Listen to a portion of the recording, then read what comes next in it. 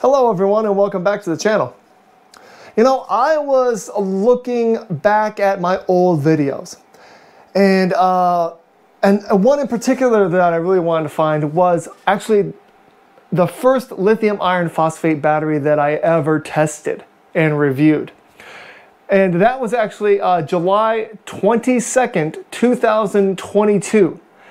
And today is November 2nd, uh, 2025. So we're looking at, uh, what, three, three years, four or five months, whatever, since I did that review.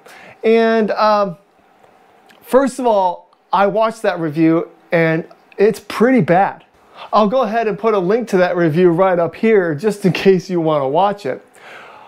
But what I was wondering is in that review, I found that the, um, the total capacity of that battery, which is a 100 amp hour battery, I found it to be 100.5 amp hours. My test wasn't that good, but it made me wonder, I wonder what the complete amp hour capacity of that battery is now because I still have it and right now it is actually mixed in with all of my other 12 volt batteries that are connected in series to create a giant 48 volt battery system. So let me go ahead and show you where it's at. All right, so here is actually my 48 volt uh, off-grid system right here. And you can see that it is constructed of all of the batteries that I reviewed in the last few years.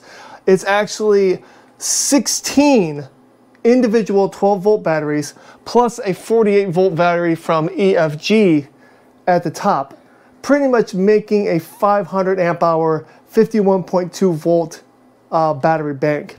Now that Redodo battery that I was talking about is actually right here. And I just checked it. It's at like 13.24 volts. And this bank right here is is getting about 3.2 amps pulled from it. So I don't really use that much amperage on this system, but I like to have a lot of capacity. So what I'm gonna do is I'm gonna go ahead and disconnect this battery and I'm gonna replace it with a different 12 volt battery.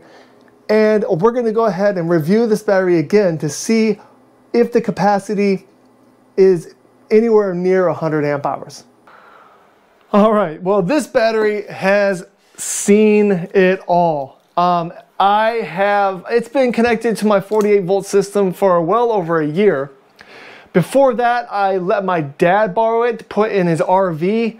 Uh, and I want to say that he did not take very good care of it. It's all scratched up. It's got a lot of like rips and cuts in the in the labeling. You can see that the uh, the top of the battery is is discolored. I mean, it's like a dark, it's like a dark gray rather than what it should be. So I'll be really interested to see what kind of capacity this thing pulls off. So I'm gonna go ahead and connect it to a 20 amp lithium iron phosphate charger, and then I'll go ahead and put it on my battery tester and we'll go ahead and see that capacity and that discharge curve. So let me get all that done and let's look at the results.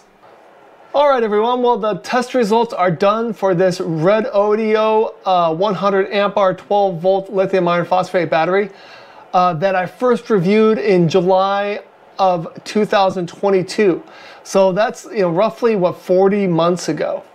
First of all, I want to show you the fact that uh, the voltage curve looks exactly the same as a voltage curve of a battery that I had just reviewed.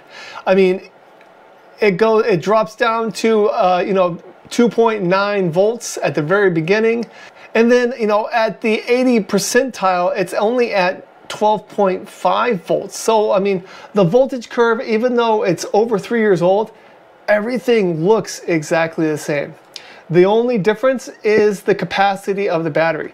You can see down here that the capacity that I reached was 94.22 amp hours. So in the last you know, three years, this battery has lost 6% of its capacity. Now, I've been, well, okay, here is the timeline of this battery once I received it. I tested the battery, and then that battery, you know, I did a couple other reviews and tests using that battery. And then after that, I gave it to my dad who went to Arizona in an RV. And he stayed out in the desert boondocking for about six months.